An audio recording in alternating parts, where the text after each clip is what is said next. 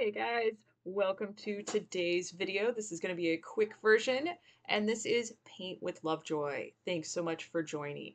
Please subscribe to the channel and share this channel with your community. Like I said earlier, this is going to be a quick version, so if you prefer the full length, non time lapsed version, check out my Patreon page and my Paint with Lovejoy website. If you want to further support Paint with Lovejoy, please do. It all helps. And for more in depth courses, check out paintwithlovejoy.com. And as always, share this with your community.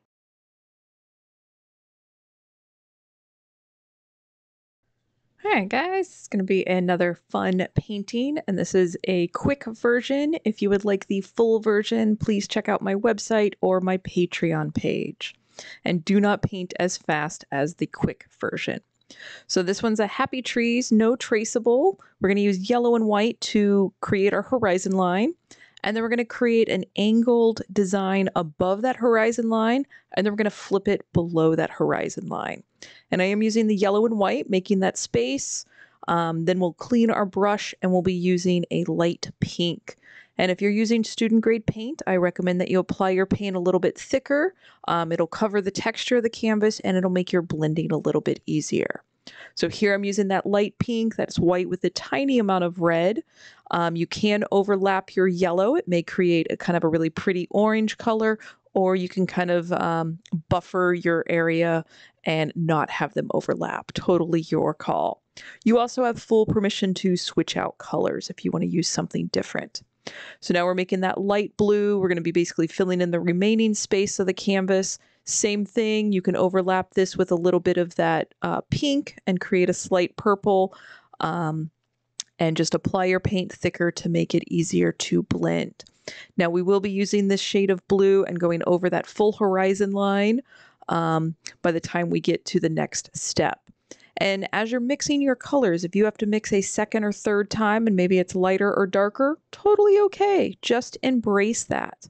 I'm really glad that you are just taking time out of your day, getting creative, spending some time with yourself, and transforming this canvas into something you created. I am very proud of you.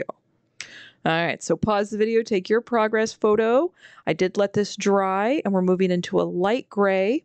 We're going to reapply that horizon line and then we're going to start putting some mountains in there.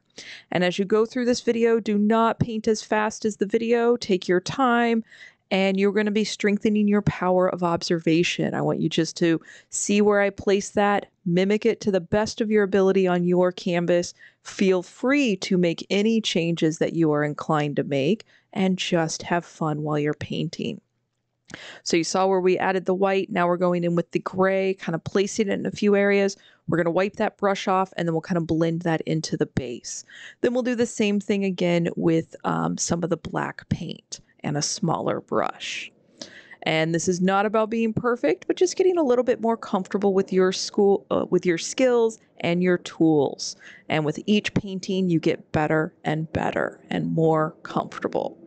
So same thing here. We went with a darker gray, smaller brush, placing it in a few areas. Um, if you need to, wipe that brush off and you can go back and kind of squish it in. Then we're going to add a little bit of shading and some trees, some foliage on our horizon line. So still using that medium flat brush and black paint now, a lot bolder. And these are just little daubs. They don't have to be perfect. It's just the illusion that we've got some trees in that horizon line um, pause the video, take your progress photo. We're going to move into green next, and that is yellow and green. Your call how yellow or how green. If you don't have green, you can make your own by mixing yellow and blue. And we're going to put some of our land shapes on here um, because the below the horizon line, that is going to be our water area. And then we're going to have our happy trees coming out from these little islands. And like I said earlier, if you're mixing your color and maybe one time it's dark more green, the other time it's more yellow, just embrace that. That's okay. You have full permission to just use this as a guideline, but make it your own and deviate from what I'm doing. All right, and if you're on a stretched canvas, I do recommend carrying these colors around the edges. It just looks nice. If you're on a flat panel or paper, just disregard what I just said. All right, so another place to pause the video, take your progress photo. We're going to move into black paint. We're using that small pointy brush and we're going to put some tree trunks back on that um, foliage area at the horizon line. And then we'll just do little dots um, for the uh, branches on the tree. They do not have to be perfect, just a little hint. And our brain is going to go, yep, those are trees back there by the horizon line.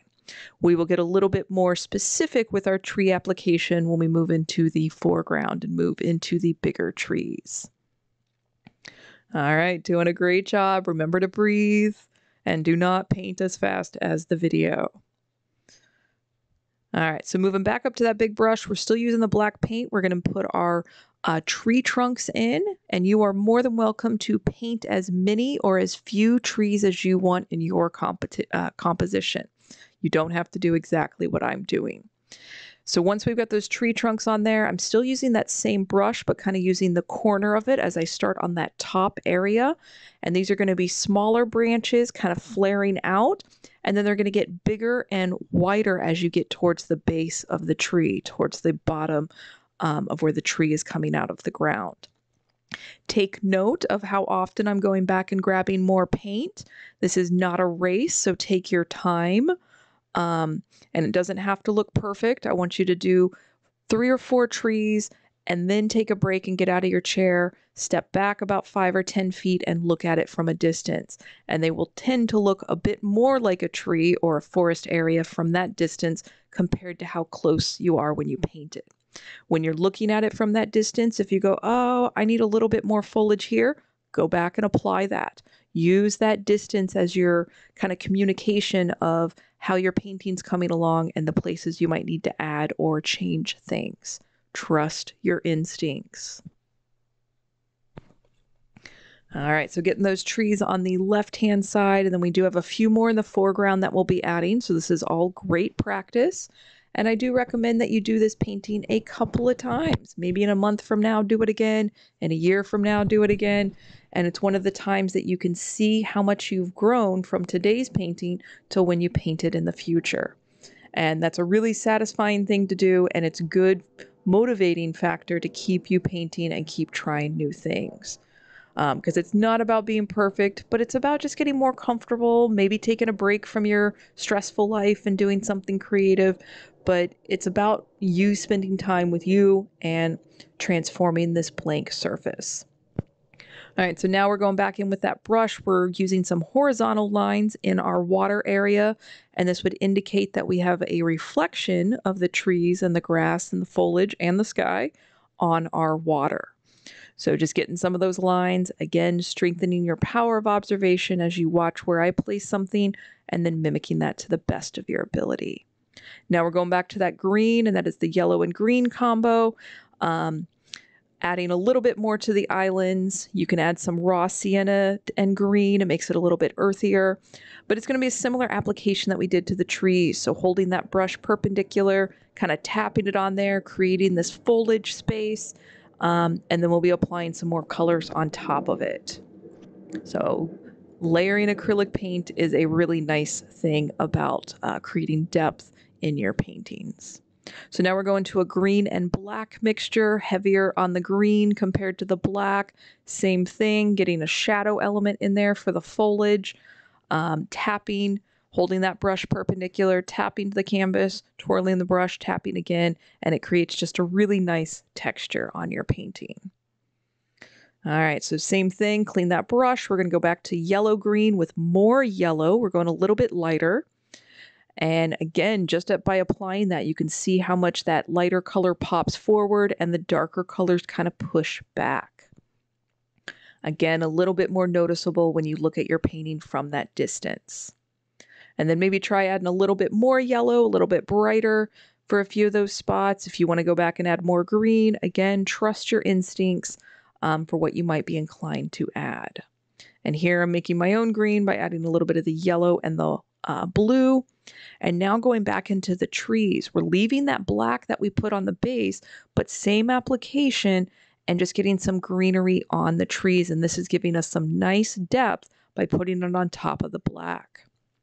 We're going to do this again later on um, towards the end of the painting with a lighter color. And that gives us, again, more depth. So as you are painting this, you are a magician creating the illusion of a 3D image on a flat 2D surface. And by doing these layers and going dark to medium to light, that's what's creating that illusion. All right, so pause the video, clean your brush, take your progress photos. We're going to go in with a light blue, and that is white and blue, and going to our water area and doing these horizontal lines. And as you do these lines, I want you going over all the colors um, from where the water is. And by going over the shadow elements, going over the reflections of the sky and the tree, um, that's what's creating the illusion and giving the distinction that this is water and that the top part of the canvas is the sky. Another good thing to look at your painting from a distance. So we've done this with the light blue. I just now did it with the white and now we're going back in with the blue. So feel free to kind of switch between all three of those shades of blue as you're putting your water ripple lines um, in your water.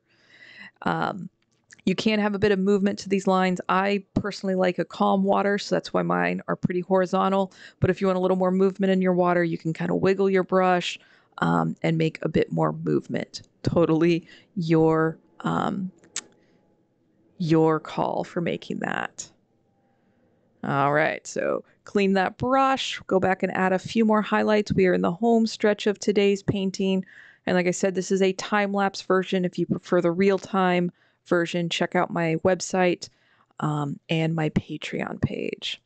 So now going back to that foliage with a little bit more of the yellow compared to green, going back into those trees for a few highlights, um, down to the foliage on the ground. Trust your instincts on where you might want to apply this. And the more that you trust your instincts, the more they're going to show up for you, um, and the easier it is to trust them. So going in, same thing on the foliage. You can add some raw sienna, makes it a bit earthy. Anything that you might want to add if you want to go in with more green. Um, if you want to put a little fisherman silhouette on there, if you want to put a fish jumping out or birds in the sky, anything you might want to do to your painting. So last step, going in with that white um, for those water lines. And again, it just kind of gives one more pop, that pure white, that pigment on there uh, kind of jumps forward where the other colors will push back a little bit more. So thank you guys so much for getting creative and taking time out of your day to have fun. Please don't wait too long to do your next painting. It gets better and more comfortable and more fun. So until next time, cheers.